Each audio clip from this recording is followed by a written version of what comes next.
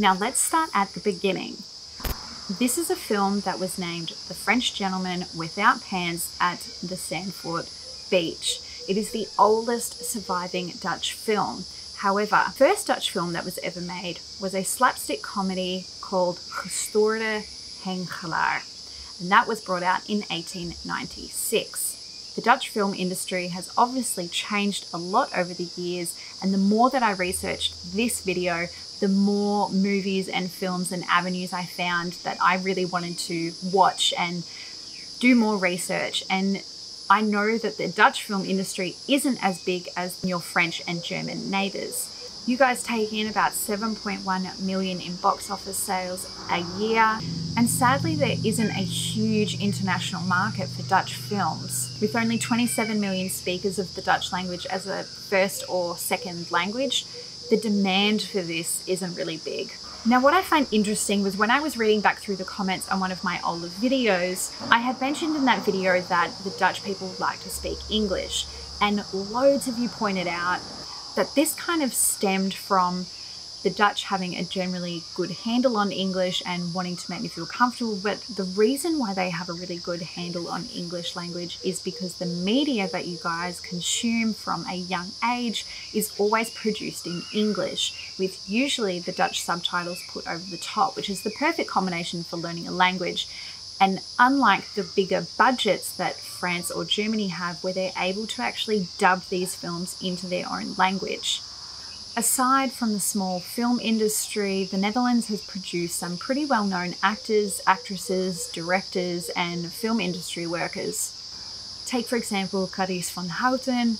She plays in a lot, a lot of Dutch films, but she also made it into the cast of Game of Thrones, which was a global success. Michiel Huisman also played alongside star Blake Lively in the film Age of Adaline. Famous directors that have gone on to win Academy Awards, like the Dutch Palestinian Israeli director Abu Assad. Paul Verhoeven is another really well known Dutch director, and he was responsible for bringing out Zwartboek, Spetters, Turks Fruit, a range of Dutch films, but also worked in Hollywood for a really long time producing 80s and 90s sci fi hits like Robocop and Starship Troopers. Let's not forget about Rutger Hauer, who played in the original Blade Runner, and the film De Tweeling that was nominated for an Oscar. I find it super entertaining that the Dutch film industry kind of has this small pool of actors and actresses that they get to choose from, and you will see these actors and actresses used over and over again in differing roles, but all together in differing movies. They all play characters that you would not expect from them, which is super, super entertaining to see. You always recognize the face or recognize the name or can recall other roles that they've played in the past. There are some older Dutch films that have sort of managed to gain a cult status. Films like Turks Fruit, which was brought out in the 70s, I believe in 1973, which was, like I mentioned before, directed by Paul Verhoeven. It was super confronting for its time having all of that nudity and such a weird storyline going through it that, yeah, it was one of those really shocking films that was brought out during the 70s. I always find it interesting to watch these older Dutch films and pick up on how much the language has changed between then and now. I remember the first time I saw Turks Fruit, I did not understand half of the film because the words and the way that they use the language had differed so much in how I've used it. Borgman, directed by Alex van Warmerdam, he usually directs quite art housey films and has played a role in every single film he's directed but one. His style is quite signature and you can tell that you're watching one of his movies from these loose sort of characters that, that come in sideways and these far out storylines. So he again has kind of created a bit of a following around that signature style that he has. While I was researching this film, I came across a massive amount of information and unsuspecting films and videos and thinking, oh, I had no idea that that actress was Dutch or that actor was Dutch or that director. And how many of these people start out in such a small industry and have really managed to make it on the big screen, so to say. I've got a massive list of films that I now want to see after researching this and heaps of information that I found out. And I never realized how diverse the Dutch film industry really was and how I've only managed to see such a small portion of it. Now, before we move on to some of my favorite movies that I want to share with you guys, I want to give a shout out to the sponsor of this video, which is Skillshare.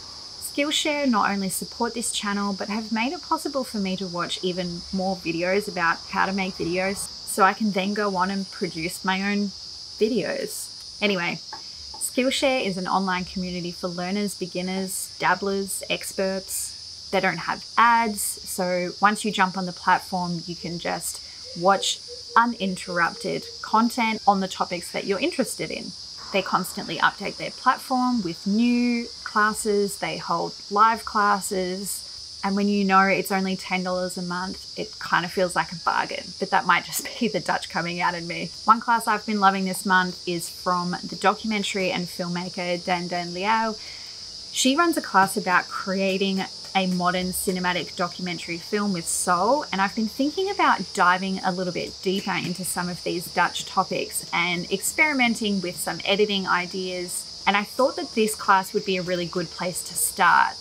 I've loved this cast because it's broken down into so many bite sized chunks that I feel like I'm not being overwhelmed by information. Each step follows on from the next one, and it makes it a super simple class to follow along to.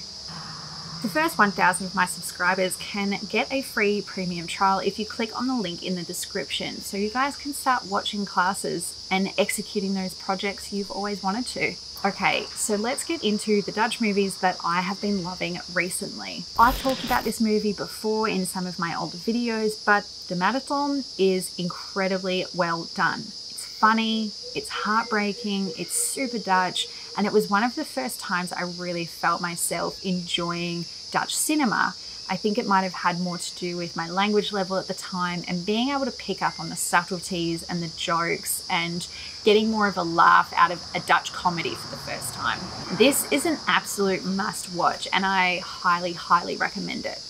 Kapsalon Romy is the next video on my list. Now, disclaimer, I was pregnant when I saw the trailer for this at the cinema and I'm not gonna lie, I cried in the trailer. So that was a sign for me that I definitely needed to go out and see this film. It's a super heartwarming and sweet story about a young girl and getting to know her grandmother. I feel like it's one of those stories that really humbles you, makes you appreciate the small things in life, and makes you kind of ask yourself some of those big questions. Now, my next movie that I really enjoyed was My Bijzondere Week met Tess. Now, this was the film where we were actually going to see when I cried in the trailer to the previous movie, but this was a really good movie. It is focused around these two young kids that are both fantastic actors and the friendship that they manage to build with each other in a short period of time and how they get up to all these adventures and kind of pull everyone into their story. I haven't been to any of the islands north of the Netherlands yet, and being able to see the scenery and it just felt super Dutch, I guess, to me it was a really well shot and well produced film, so I definitely recommend going and seeing that one as well. One of the earlier movies I remember watching was Loft. Now, this one's actually Belgian, so they speak Flemish in the film, and I remember watching this film and really being able to pick up on the differences between Dutch and Flemish and not just the obvious things like the accent, but the way that they were actually using words. So I think I, I found this film really interesting in the beginning because of the language aspect. It was a really well done mystery, and it's one of those stories that really does keep you guessing right until the end. There was an English remake of this film in 2014, but I definitely recommend going back and seeing the original Belgian film. Okay, so this last one is not entirely in Dutch, but this one is about a Dutch cinematographer. It's a documentary called Living the Light. and it was about his life's work. And he regularly shot his own footage constantly throughout his life. So the documentary was actually put together using a lot of his original footage, and it sort of told the story of his progression in the industry and his genius mind and how he took real life things that he saw and incorporated them into the movies that he worked on, like Paris, Texas. He was incredibly influential in the industry, and watching this documentary was really the first time that I realized there was more to the Dutch film industry than I initially thought. So, this documentary is a must for film buffs. I hope you guys enjoy my list. Uh, maybe you've seen some of these movies, maybe you haven't. Maybe you have recommendations for me. I am literally always on the hunt for new videos, new TV series, new things that I can get my hands on. I love learning and using movies as a learning tool. So shoot them my way. Leave them in the comments below your favorite movies, or if you disagree with any of the movies I've recommended, let me know too. Sometimes some people are just going to think that these movies were crap. So let me know in the comments below. I can't wait to read what you guys have to say. If you like this video, please give it a big thumbs up. And if you like watching videos about Dutch culture and Dutch language and all of those things, then remember to subscribe and I will see you guys in the next video. Bye.